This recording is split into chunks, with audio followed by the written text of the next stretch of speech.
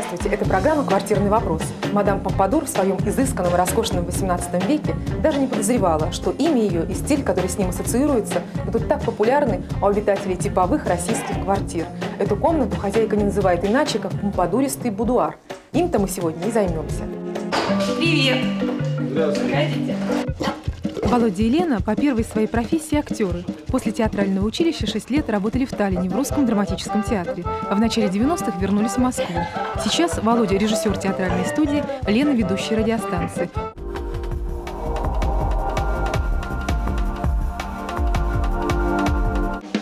Том, что мы актеры, поэтому, э, я не знаю, может быть, это подсознательно родилось, что нам хотелось какой-нибудь, знаете, такой вот, чтобы все было вот так вот золотое, изысканное, такое вот, такое вот, чтобы такое парчевое, ну, чтобы э, так все блестело и сверкало. Жена говорит, блестело, я ее сразу поправил, чтобы это не было цыганщина такая. Ну, а главное украшение нашей комнаты – это вот наше дерево любимое. А на самом деле это китайская роза, цветет большими такими розовыми цветами. И мы как-то боимся с ней расставаться. На самом деле она как член нашей семьи, потому что у нас вот собака и э, дерево, мы с ними разговариваем. Вот я когда обрываю листочки, я начинаю там, ты прости, дорогая, там, извини, но приходится, что делать, объясняю я ей, потому что, ну, Даже живое я не знал про это. Это- тайна моя. Помните, как наши родители жили? Салфеточки, потом разные вот эти шторы свои какие-то вязаные, все вот. Коврики какие-то, сейчас вот это не принято, сейчас на даче основном делают. Ты что, хочешь, я коврики Да вязала? я не в этом говорю, я, я по духу было, чтобы тебе было как сливаться было тем, что можно было, выражение, даже помереть спокойно. Я что смеешься, правильно? Нет, Вов, мы начали с тобой с Версаля, а закончили тем, что постелить салфеточку и помереть около нее. Нет.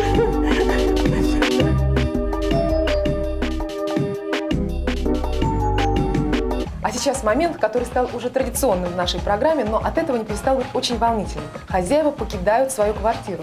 Страшно? Немножко. То есть вы понимаете, что это абсолютная авантюра с вашей стороны, да? Эксперимент, я бы сказала. Жизнь Как всегда вам? эксперимент. Ну что ж, дорогие хозяева, настал момент прощания.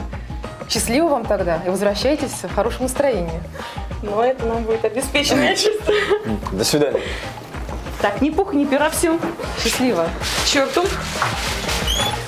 Пока. Счастливо. Ну вот, можно начинать.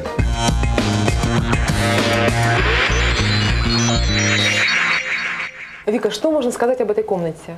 Ну, комната очень всем знакома. Лет 20 мы живем примерно в таких комнатах. Стенка слева, диван справа, окно с ламбрикеном. И дальше мы, как бы фантазия нас не гуляет.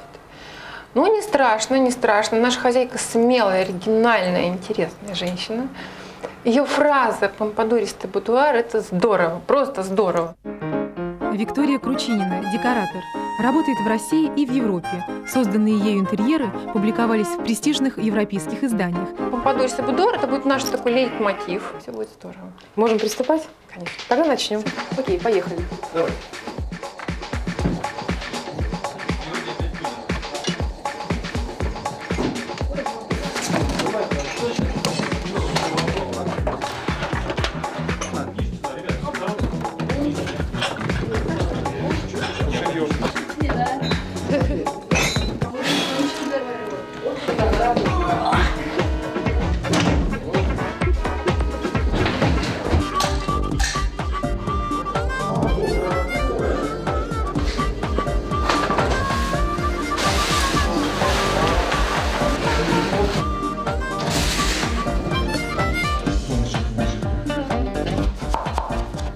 Зеркала – вещь хрупкая, поэтому обращаться с ними надо нежно. Кроме креплений вверху и внизу, их фиксируют силиконом. Вика, для чего такие огромные зеркала? Мы работаем в стиле помпадур, будуаристый помпадур. Стиль предполагает какую-то роскошь, изысканность, загадку.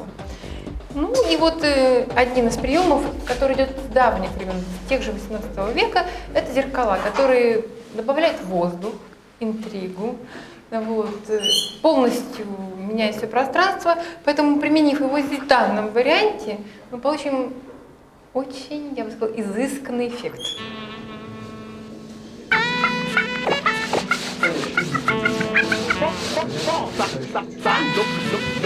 Отличный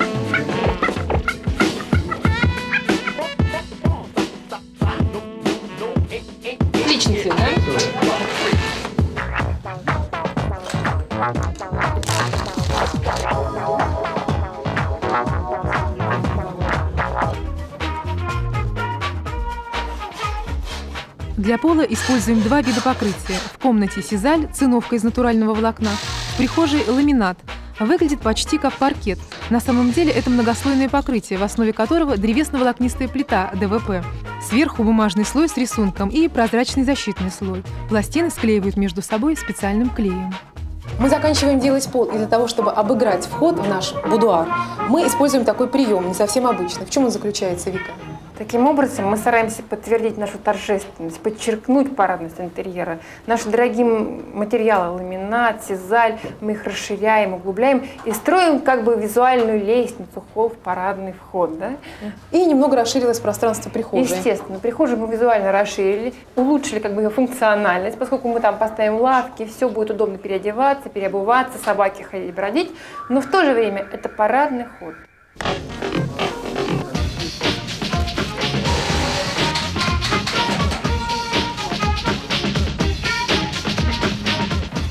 Зеркало в интерьере – это дама приятная во всех отношениях. И что особенно хорошо, возраст для него не минус, а плюс. Если у вас сохранилось потускневшее бабушкино зеркало, то вам очень повезло. Несколько декораторских приемов, и вы обладатель изысканной вещи.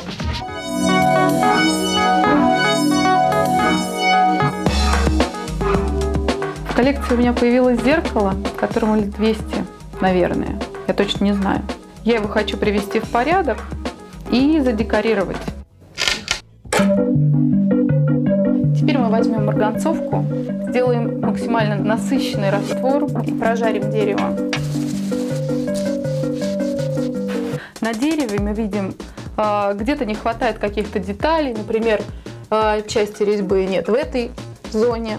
Оставим все как есть. Нам нужно это подчеркнуть его красоту и сделать ее а, более явной, современной и, может быть, даже сделать это зеркало более наивным. Для этого берем красочку, золотую и серебряную. А дальше начинаем тонировать. Движения должны быть легкими, кисточка почти сухой.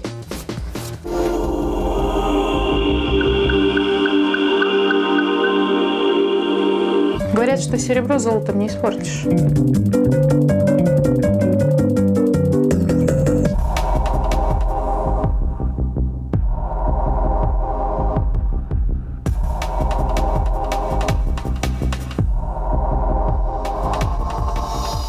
Последние штрихи мы нанесем, используя золотую фольгу.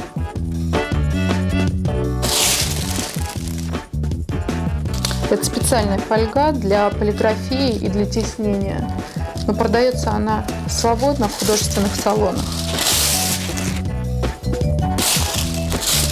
Это зеркало, мне кажется, для любого интерьера подойдет. Оно само по себе объект и уже произведение.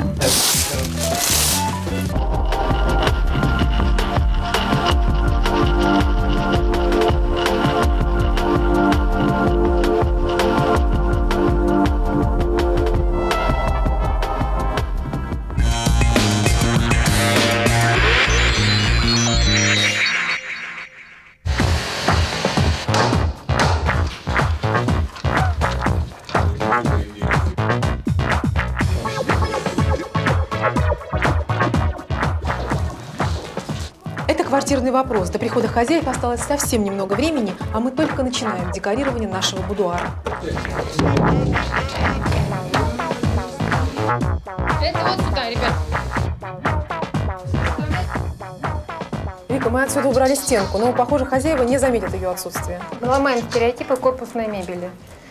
Быстренько все декорируем тканью. Вот у нас шикарная колонна, шелковая, помпезная, держащая на себе весь интерьер. Внутри у нас шкаф. Вся одежда свешена.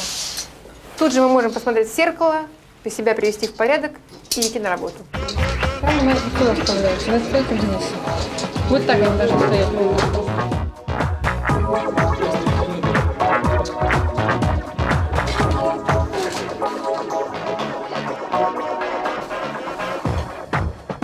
В нашем интерьере должно быть много предметов. Ну, в общем, мы не должны бояться предметов. чем больше, чем больше мы усложняем структуру, тем глубже будет смотреться наш объем.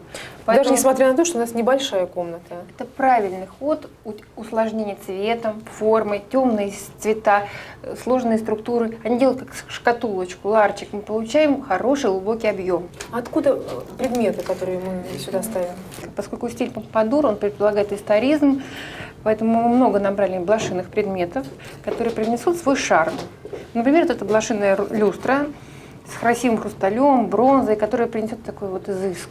У нас блошиного рынка, купленная на вернисаже неделю назад.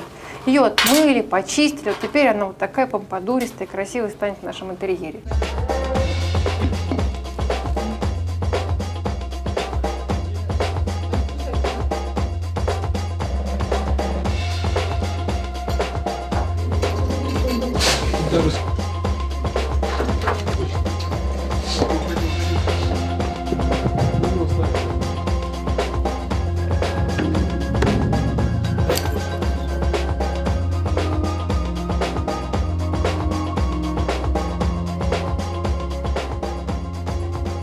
Ты довольна результатом?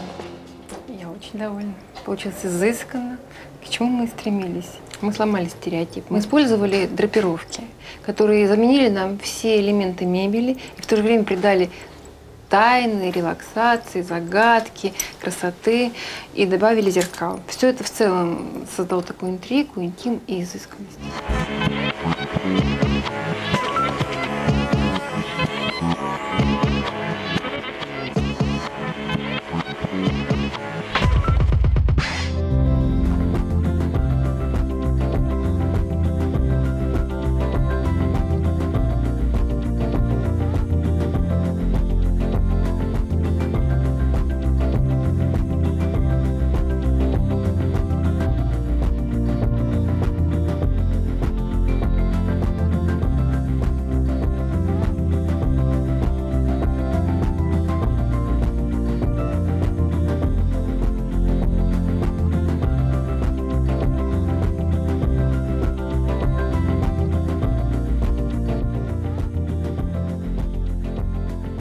Очень волнительный момент. Хозяева уже за дверью. Сейчас они войдут.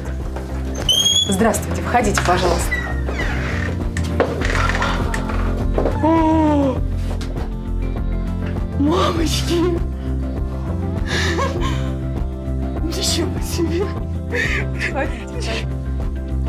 Боже мой, боже мой!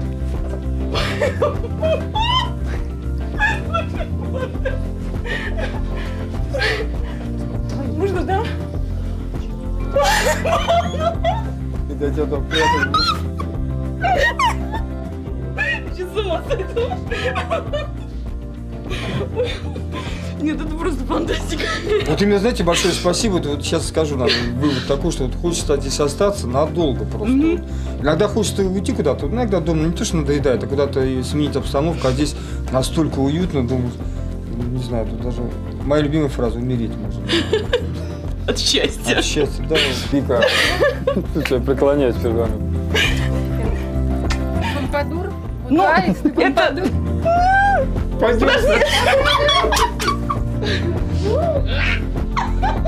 Все, теперь я буду мадам Помпадур. Вау! Ой! А Трудно даже представить, что сказала бы мадам Помпадур, попав в эту комнату. Одно можно утверждать с абсолютной уверенностью. Этот интерьер соединил в себе изысканную непрактичность XVIII века с добротной функциональностью, так высоко ценимой в наше время. Это была программа «Квартирный вопрос». Смотрите нас на канале НТВ. Бокалы какие, смотри. Мне бы очень хотелось, чтобы вот с этого началась какая-то жутко удачливая полоса в нашей жизни, чтобы что-то кардинально поменялось, и все это благодаря вам. Огромное спасибо.